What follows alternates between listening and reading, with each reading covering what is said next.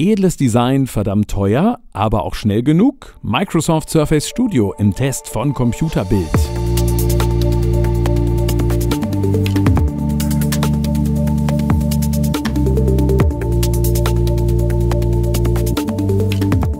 Zehn Kilo Gewicht, Preis über 4500 Euro. Im Gegensatz zu anderen All-in-One-PCs ist der Surface Studio ein echtes Monster. Dafür gibt es kein billiges Plastik, kein hässliches Blech. Microsoft hat seinen großen All-in-One-PC in edles Aluminium gepackt. Der Surface Studio verfügt über einen großen Bildschirm mit sehr guter Auflösung und hoher Farbtreue.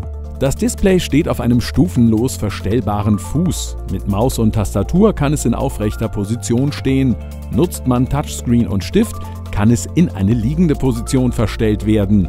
Dank Rückstellfedern im Standfuß geht das Kippen erstaunlich leicht. Das Konstrukt bleibt immer im Gleichgewicht. Die Verarbeitung ist hervorragend. Die gesamte Technik steckt im Fuß. Ohne weiteres lässt sich das Gehäuse nicht öffnen. Eine Aufrüstung ist nicht möglich. Im Inneren werkelt zwar starke, aber nicht top aktuelle Technik. Der Prozessor ist ein Core i7, den Intel bereits Ende 2015 auf den Markt gebracht hat. Der Nvidia Grafikchip wurde bereits Ende 2014 vorgestellt. Und als Festspeicher dient lediglich eine 2 TB große Festplatte, keine SSD. Trotzdem arbeitete der All-in-One im Test richtig flink, besonders bei Videobearbeitung. Auch aktuelle Spiele liefen halbwegs flüssig, Dafür drehen die Lüfter unter Volllast am Anschlag und erzeugen relativ viel Lärm.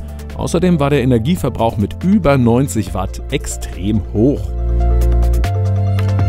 Das Microsoft Surface Studio überzeugt im Test mit hervorragender Verarbeitung, einem tollen Display und hohem Arbeitstempo.